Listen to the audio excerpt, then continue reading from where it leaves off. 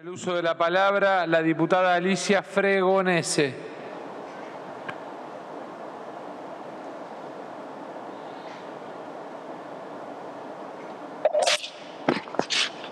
Muchas gracias, señor presidente. Primero, me gustaría decir que es muy llamativo que este proyecto haya tenido un único giro a la Comisión de Ambiente como si esta ley no fuera a afectar a la producción en nuestro país.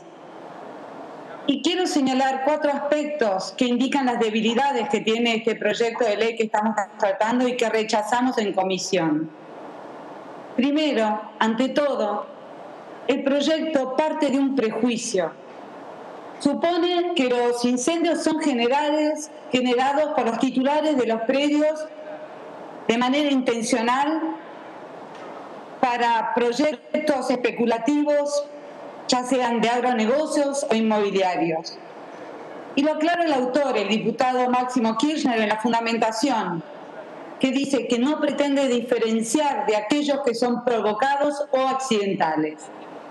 Y la realidad es que no hay un solo dato que avale la fundamentación de este proyecto, señor presidente. Si tomamos la información oficial, podemos demostrar lo contrario. Los incendios de los caldenales de La Pampa generados por la gran sequía en, el en los años 2017 y 2018, más de 310 focos, más de un millón de hectáreas, del millón setecientas mil hectáreas que se prendieron fuego en esos años. ¿Sabe cuántas de esas hectáreas, cuántos de esos focos de incendios eh, fueron destinados al cambio del uso de suelo? Ni una, ni una esas hectáreas. Y esto no lo digo yo, esto lo dice el Intanguil, esto lo dicen los datos del Servicio Nacional del Manejo de Fuego. Ahora bien, si hubiésemos tenido en cuenta todos estos datos, tal vez no estaríamos discutiendo este proyecto de ley.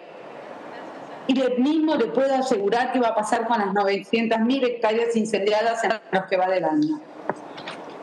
Pensar que 900.000 hectáreas que se quemaron durante este año son el resultado de un complot de miles de productores para cambiar el uso del suelo es un disparate. En un año de sequía, eso es desconocer al sector productivo. En segundo lugar, al revés de lo que dijo la diputada informante, el proyecto no crea una mayor protección ambiental, sino por el contrario la disminuye. Bien lo dijo la diputada Austin, al establecer una restricción al cambio del uso de bosques por 60 años, cuando hoy lo están a perpetuidad. La ley de bosques nativos establece un ordenamiento territorial de los mismos que no puede volver atrás.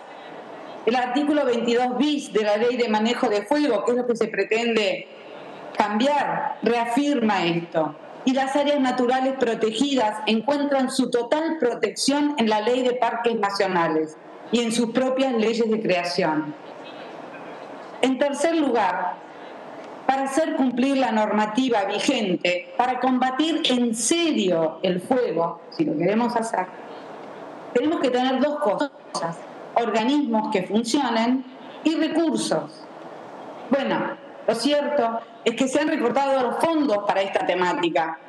El presupuesto 2021 para el manejo de fuego más riesgos de desastres se redujo en un 50%.